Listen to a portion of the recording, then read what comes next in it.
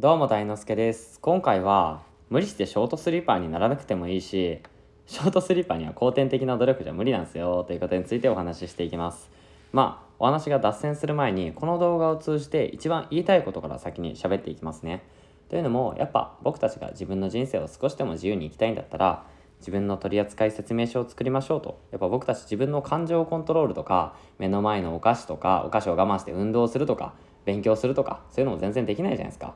であのやっぱ睡眠不足になるとなんかイライラしやすくなるなとか睡眠不足といってもやっぱ睡眠時間8時間を切るとイライラするなだったりとかなんか脂っこいものとかファストフードを食べたら翌日自分の体のがなんかだるくなるなだったりなんかよく眠れなくなるなだったりとか自分がどういうことをしたらどういうような体調になるのかっていうのを日頃から記録癖とか作っていきませんかって話なんですよね。例えばまあ僕の場合 Excel とかで毎日の就寝時間と起きた時間そしてその日とか前日のパフォーマンスを生産性とかを10点満点中評価とかやってるわけなんですよね。とか外食とか不健康なもの食べたらそれもメモしてるんですけどそうすることによってやっぱ不健康なもの食べたら唐揚げだったりとかフライドポテトだったりとか、まあ、何かしら不健康なもの食べたら翌日頭がぼーっとしたりとか寝起きの気分が、まあ、10点満点中2点とか、まあ、下がるわけなんですよね。とかまあ、うっかり夜更かししちゃうと翌日朝起きた気分が悪いしなんか生産性も低いしみたいなことになるんだったらででって分かってるんだからなんか勝手に健康的な生活を送るようになったわけなんですよね僕はね。だからやっぱり僕たち人間の自尊心自尊心や自制心を鍛えるには日頃の記録癖って非常に重要なんだなっていうのは僕自身の体験としても思うんですけどで無理してショートスリーパーになって睡眠時間を削って、まあ、経説の項とか死と娯楽とか日本の古事成語で睡眠時間を削って勉強した人が報われるよみたいなことをそういう言葉とかありますけどあれ科学的には嘘ですからね学習効率を高めたいんだったらちゃんと寝ましょうって話なんだからまあ、僕たち凡人がてか凡人じゃなくても人生を変えたかったら食事睡眠運動という生活習慣を変えていくことが非常に重要なわけなんですよね。でまあ僕たちその底辺を這いつくばってる人間ほどこの食事睡眠運動をおろそかにしがちなんですけどまあ基本なくして応用なしなんでねであの僕たちは努力で後天的にショートスリーパーにはなれないよということも今一度その覚えておいてねということをお伝えしたいんですよね。というのも寝てる時間もったいなくねっていうふうに思うかもしれないですけどでその睡眠不足の、ね、眠気と戦いながら目をこすりながら目の下にクマを作りながらそこまでしてやりたいことって何ですかってそこまでしてその YouTube を見ること重要なんですかって話なんですよね。そのなんか翌日イライラするし頭がぼーっとするし肌もガサガサになるし太りやすくなるしとかそんな睡眠不足のデメリットをたくさん抱えるぐらいだったらさっさと寝寝た方が良くないって話なんですよね。で、まあ、寝る子は育つっていう言葉もあるしやっぱそのミリオネアとかを対象に行った世界中の研究とか調査でも経済的に裕福な人ほどよく寝ているみたいなんですよね。で、まあ、ミリオネアの人たちの、えーとは最低7時間は寝ているみたいなんですよ。日本人最低な平均睡眠時間何分ですかって話なんですけどまあ日本人は先進国の中でも、えーと、ワースト2位で睡眠時間が少ないんですよ。1, 一番睡眠時間が低いのは韓国らしいんですけど。で日本人の平均睡眠時間7時間から7時間半ぐらいっていうふうに言われてるんですけど僕たち10代から50代ぐらいのまあその社会の労働生産性とかになっているような世代とかっていうのは40%ぐらいがそういう若い世代たちの40%ぐらいが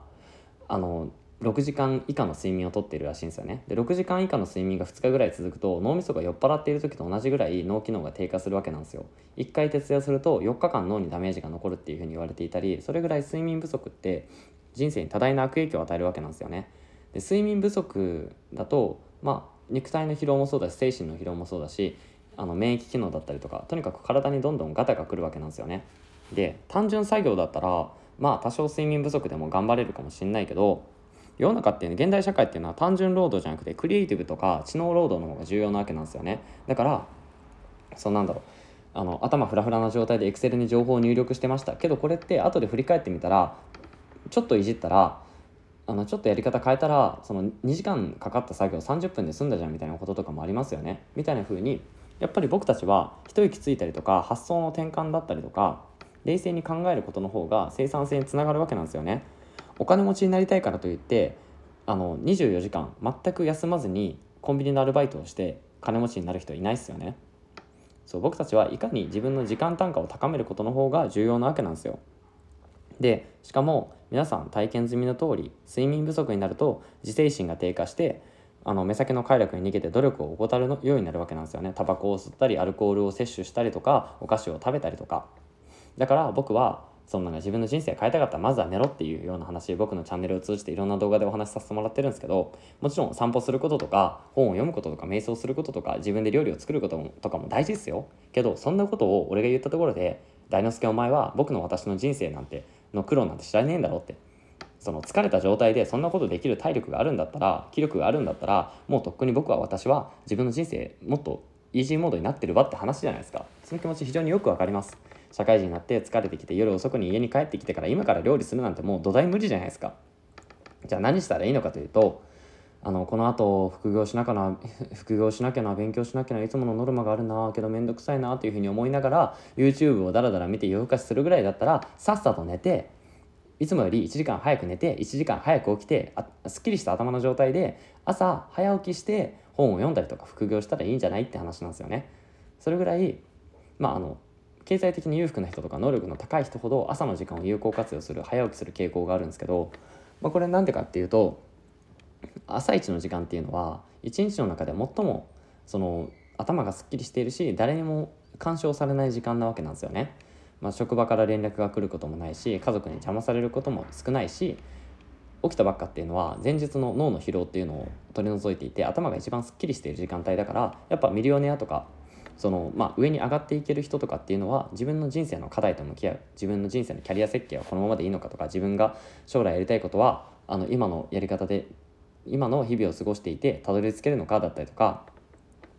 自分が本当にやりたいことは何なのかみたいな風に僕たちが目を背けていることとかにも朝一の時間っていうのは自制心が高いから向き合いやすいわけなんですよね。で朝一の時間っていうのは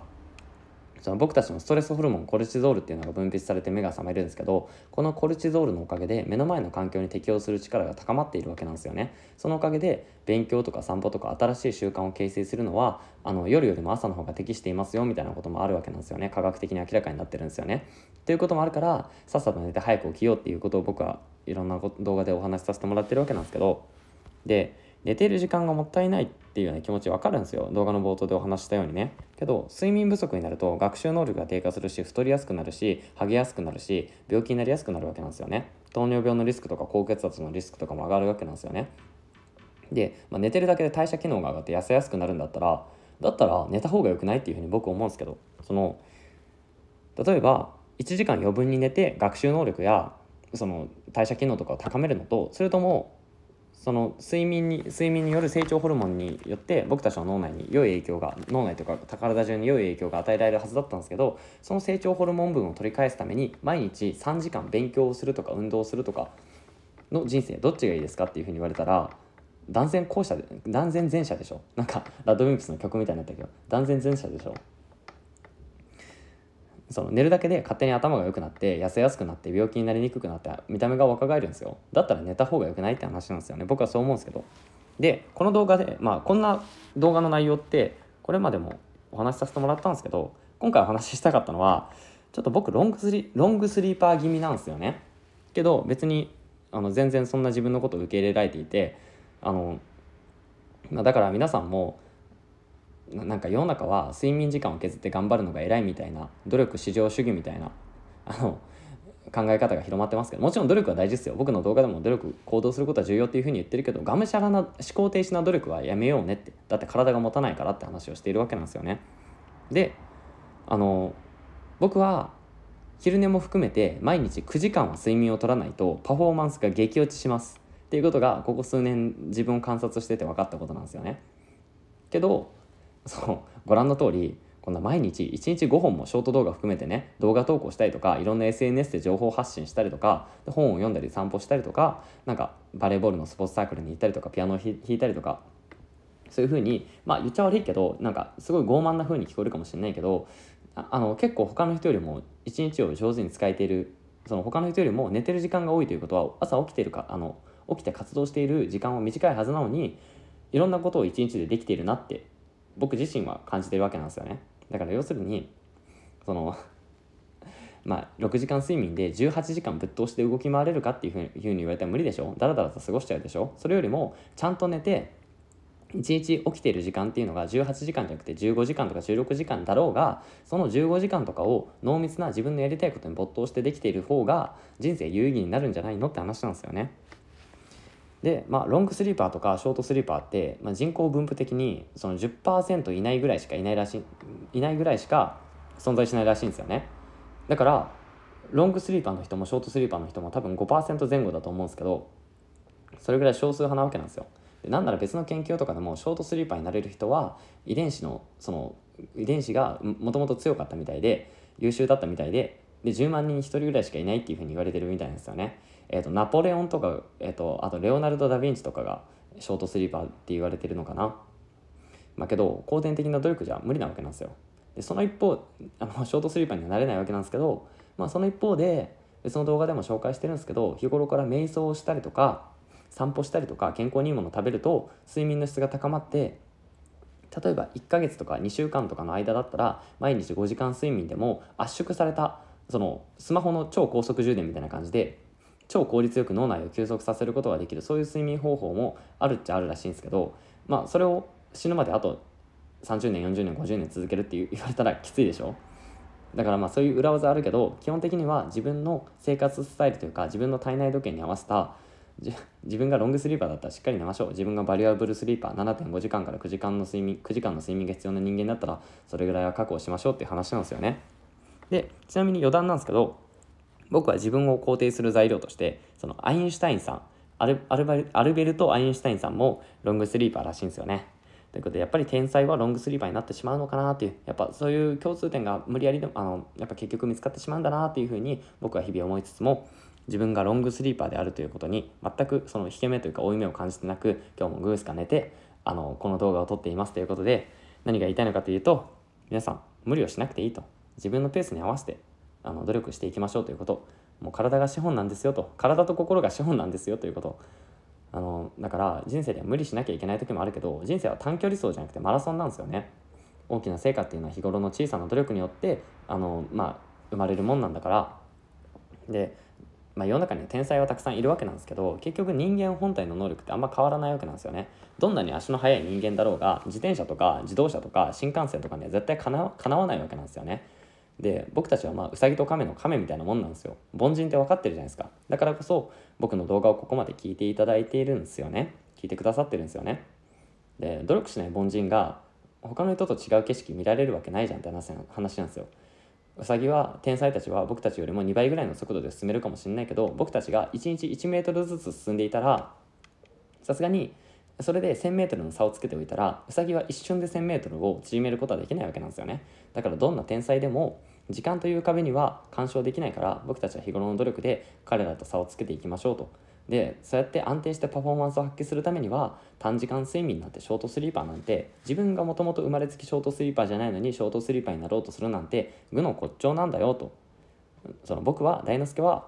ロングスリーパーだけどそれに合ったライフスタイルを確立してこうやって元気に生きてるんだから皆さんも別に無理してロングスリーパーあのショートスリーパーにはならなくていいんだよということをお伝えしたかったです。ということで今回は以上。バイバイ